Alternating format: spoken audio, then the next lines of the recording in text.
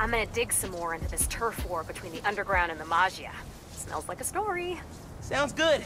I'm looking forward to hearing the podcast.